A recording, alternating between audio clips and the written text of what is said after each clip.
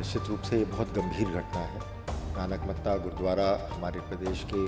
सबसे प्रमुख धार्मिक स्थलों में से एक है। कि हत्या हुई है बाबा तरसेम सिंह जी। उनके बारे में कोई लाभप्रद जानकारी हो वो भी हमारे साथ शेयर करें ਦੋ ਮੋਟਰਸਾਈਕਲ ਸਵਾਰ ਆਏ ਤੇ ਬਾਬਾ ਤਰਸੇਮ ਸਿੰਘ ਤੇ ਗੋਲੀਆਂ ਚਲਾ ਉਹਨਾਂ ਦਾ ਕਤਲ ਕਰ ਫਰਾਰ ਹੋ ਗਏ ਇਹ ਤਸਵੀਰ ਉਸੇ ਵੇਲੇ ਦੀ ਹੈ ਤਸਵੀਰ ਦੇ ਵਿੱਚ ਦੇਖਿਆ ਜਾ ਸਕਦਾ ਹੈ ਕਿ ਦੋ ਮੋਟਰਸਾਈਕਲ ਸਵਾਰ ਨੇ ਇਹਨਾਂ ਦੇ ਵਿੱਚੋਂ ਇੱਕ ਦੇ ਹੱਥ ਦੇ ਵਿੱਚ ਹਥਿਆਰ ਹੈ ਤੇ ਕੁਰਸੀ ਤੇ ਬੈਠੇ ਸ਼ਖਸ ਤੇ ਇਹ ਗੋਲੀਆਂ ਚਲਾ ਦਿੰਦੇ ਨੇ ਤੇ ਫਿਰ ਉੱਥੋਂ ਫਰਾਰ ਹੋ ਜਾਂਦੇ ਨੇ ਬਾਬਾ ਤਰਸੇਮ ਸਿੰਘ ਕਾਰ ਸੇਵਕ ਸਨ ਕਾਰ ਸੇਵਾ ਦੇ ਮੁਖੀ ਸਨ ਉਹ ਜਿਨ੍ਹਾਂ ਦਾ ਉੱਤਰਾਖੰਡ ਦੇ ਵਿੱਚ ਕਤਲ ਕਰ ਦਿੱਤਾ ਗਿਆ ਇਹ ਸਨਸਨੀਖੇਜ ਵਾਰਦਾਤ ਹੈ ਜਿਸ ਨੂੰ ਸੁਲਝਾਉਣ ਦੀ ਕੋਸ਼ਿਸ਼ ਪੁਲਿਸ ਦੇ ਵੱਲੋਂ ਕੀਤੀ ਜਾ ਰਹੀ ਹੈ। ਤਸਵੀਰ ਤੁਸੀਂ ਦੇਖ ਰਹੇ ਹੋ ਕਿ ਦੋ ਮੋਟਰਸਾਈਕਲ ਸਵਾਰ ਨੇ ਜਿਨ੍ਹਾਂ ਦੇ ਵੱਲੋਂ ਕਤਲ ਕੀਤਾ ਗਿਆ। ਬਾਬਾ ਤਰਸੇਮ ਸਿੰਘ ਦਾ ਗੋਲੀਆਂ ਮਾਰ ਕੇ ਉੱਤਰਾਖੰਡ ਦੀ ਇਹ ਵਾਰਦਾਤ ਹੈ, ਜਿੱਥੇ ਗੁਰਦੁਆਰਾ ਨਾਨਕ ਮੱਤਾ ਅੰਦਰ ਬਾਬਾ ਤਰਸੇਮ ਸਿੰਘ ਦਾ ਕਤਲ ਕੀਤਾ ਗਿਆ ਹੈ। ਊਧਮ ਸਿੰਘ ਨਗਰ ਦੇ ਵਿੱਚ ਇਹ ਗੁਰਦੁਆਰਾ ਸਥਿਤ ਹੈ, ਜਿੱਥੇ ਬਾਈਕ ਤੇ ਆਏ ਹਮਲਾਵਰਾਂ ਨੇ ਫਾਇਰਿੰਗ ਕੀਤੀ ਤੇ ਵਾਰਦਾਤ ਨੂੰ ਅੰਜਾਮ ਦਿੱਤਾ। ਜਾਣਕਾਰੀ ਦੇ ਮੁਤਾਬਿਕ ਗੁਰਦੁਆਰਾ ਨਾਨਕ ਮੱਤਾ ਦੇ ਵਿੱਚ ਕਾਰ ਸੇਵਾ ਡੇਰਾ ਦੇ ਮੁਖੀ ਬਾਬਾ ਤਰਸੇਮ ਸਿੰਘ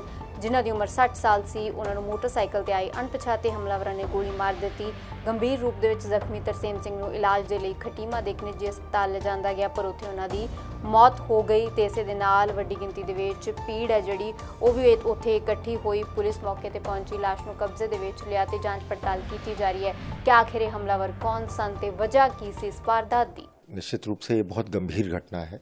नानक मत्ता गुरुद्वारा हमारे प्रदेश के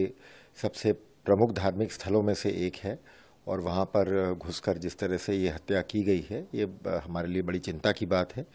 घटना की सूचना मिलते ही वहाँ पे तुरंत वरिष्ठ अधिकारी वहाँ मौके पे पहुँच गए हैं। एसएसपी ऑलरेडी मौके पे पहुँच चुके हैं और